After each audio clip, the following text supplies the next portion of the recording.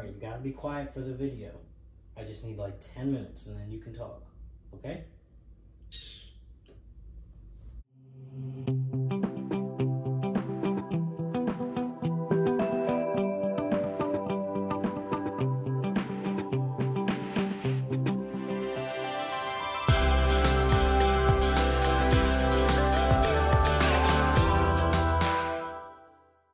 What's up guys, welcome back to another video.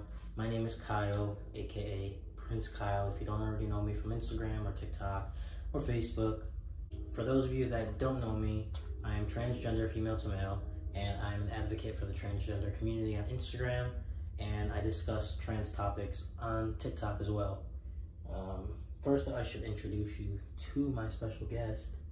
This is Leo and I just got him a few days ago Obviously, he's a baby still, so he'll probably cry through this whole video, but we'll see how it goes. Basically, I just wanted to dive right into it. I get a lot of questions, especially on TikTok, what my sexuality is, and I thought, why not actually make an in-depth video? It's very complex, but basically I'll just tell you a timeline of my dating life and just how I began growing older and learning more about my sexuality and being more content with what I identify now. So basically, during high school, before I transitioned and before I really knew that I was transgender, um, I dated a few boys here and there, and it never really felt right, but I just at the time thought it was the right thing to do, and I'm like, oh, bless you, bless you. At the time, I thought it was the right thing to do, and I thought, like, mm, maybe a couple guys later, it'll just, it'll start to feel normal, it'll feel right. Eighth and ninth grade, I dated guys, but it really it was it would last like three days. They weren't even real relationships, but I just put it that way just because during that time I thought I was straight and I thought I was a cisgender woman who was straight. But then over time, I knew internally that I did like women. I just didn't know how to come out about it, and I didn't want to. I didn't. I didn't want to have to deal with the stigma in high school as a lesbian. So I started dating a girl back in 10th grade. This is the first girl I've ever been with, and we actually ended up dating for about three years. And at that point, I identified as bisexual, but in my head, I, I knew that I really just only liked women. But it was easier to come out as bisexual because then I could come out and be like, hey, I like girls, but I still like boys, so like, don't hate me too much, which was the wrong way to go about it. But whatever, long story short, at that time, around 10th and 11th grade, I was bi- bisexual. So then, after high school, I graduated. Me and my ex broke up, and that is when the whole transgender came to light, and I jumped the gun and transitioned and started living fully as a male. And this is about freshman year of college. Because I was confused of how it worked being trans, I was just telling people that I am lesbian. People just thought I was lesbian, but I was transgender but I didn't know, I just didn't know how that stuff correlated together. So I was technically identifying as lesbian at this point in time because I only dated women and I was just in the, in the beginning steps of being transgender and living fully as a male. So now, my second year of college, I started kind of going back into the dating world. And during this time, I was dating people on and off, and it was like for like a couple months. So again, I don't really count those guys either. So during this time, I was now identifying as straight because now I am fully living as a male and I'm only dating women. Didn't have any interest in men, but it was because I was again afraid of the stigma that it would have around it and what that would categorize me as, and also because I felt like if I liked men, it took away my masculinity, which is again completely wrong. And I again grew up and learned a lot more about how it all works. So at this point in time, I was a straight male and I only dated women. Now we're going into about junior year of college and I started dating my best friend, who most of you guys probably know who I'm talking about. We started dating and at this point in time, I was becoming more open with my sexuality. And I was looking at men and thinking like, oh wow, like he's really attractive. Like, oh wow, okay. And I would even talk to my girlfriend about this, like, yeah, like I can openly say this person's really attractive. And then uh, at this point in time, now I'm fully transitioned, pretty much exactly how I want to appear to other people. And I was realizing that, okay, I'm confident in my own body. Now I need to be confident with my sexuality. And at the end of the day, just because I look, in some people's terms, cisgender male, and again, that's the wrong way of even putting it, but I'm just putting it how a lot of people say it. But because I now appear fully male, I realize that your sexuality has absolutely nothing to do with the way you appear or the gender you identify as. So at this point, now I'm realizing that I can still like men. And towards the end of my senior year of college now, um, I realized that I was still into men. But here, now I'm identifying as a bisexual male.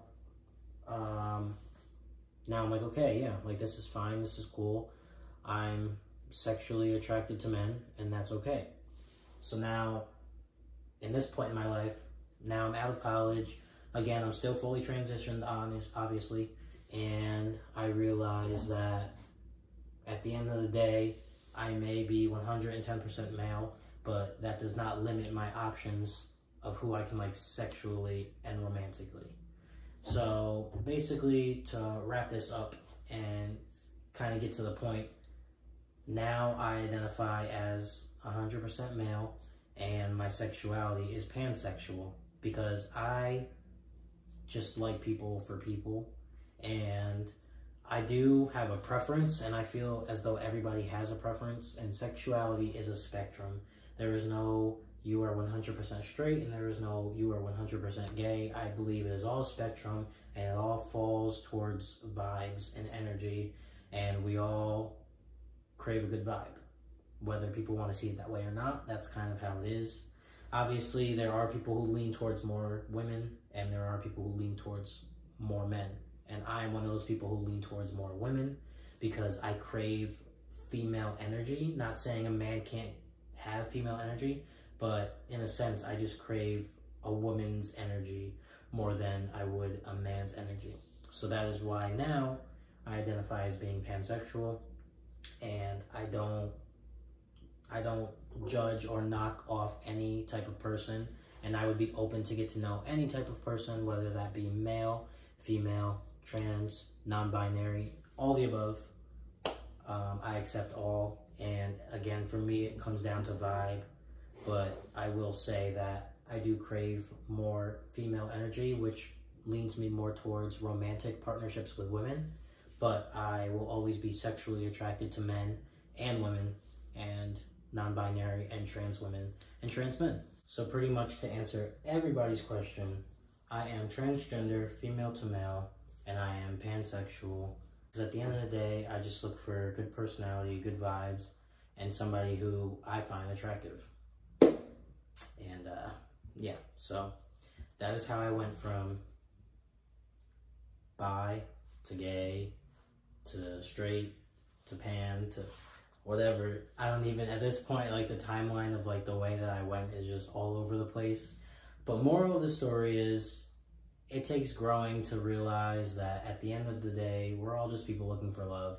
And there is no direct correlation between gender and sexuality and I was one of those people had that had that misconception that because I transitioned to male, I needed to be with women, or if you don't transition, you should be to this or to that. And it just took a little growing up and different types of relationships that I've been in with people to realize that it is okay to like who you like. And at the end of the day, it just people are people, and love is love.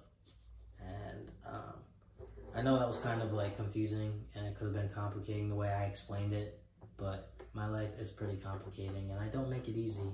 But if I made it easy, like that's kind of boring. And I like to I like to be complex.